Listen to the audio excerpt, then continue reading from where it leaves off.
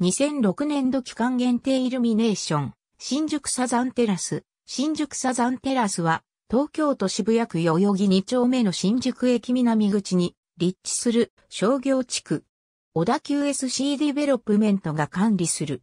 小田急グループの新宿テラスシティの一部である1998年3月20日にオープン。小田急線の線路上に350メートルの人工地盤を築き、遊歩道をイメージして店舗を配置した。新宿駅西口の小田急春区から小田急百貨店を経由し、ミロードと甲州街道をまたいで橋でつながる小田急電鉄の開発事業である大通り構想、新宿テラスシティの南側ゾーンとしての位置づけである。2006年4月16日には、東日本旅客鉄道新宿駅の改札口、サザンテラス口が新設され、甲州街道を横断することなく、JR のホームから直接、サザンテラスにアクセスすることが可能となった。2016年に甲州街道改札に名称変更した。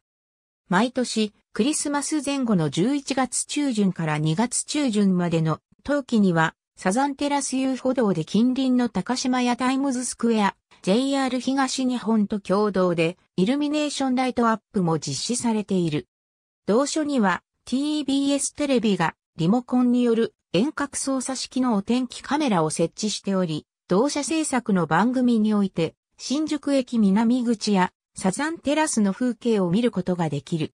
なお、TBS テレビと小田急電鉄との契約により、報道番組のニュース映像として使用する以外においては、新宿サザンテラスという名称が必ずテロップ表示されている。